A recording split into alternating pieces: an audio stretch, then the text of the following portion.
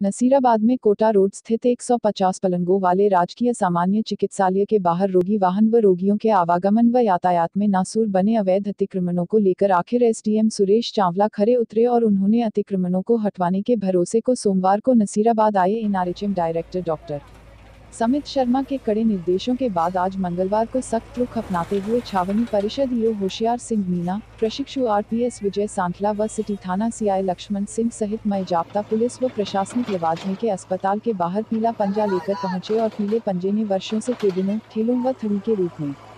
बाधक बने अवैध अतिक्रमणों पर गरजते हुए उन्हें परिषद के हवाले कर दिया।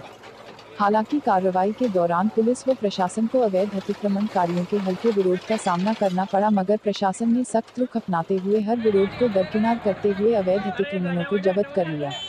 अस्पताल के बाहर से तीनों मार्गों पर रह अतिक्रमण साफ़ होते हुए सिमट चुका मार्ग अब साफ़ होकर चौड़ा हो जाने से पैदल चलने वाले भी राहत महसूस कर कार्यवाही की प्रशंसा कर रहे।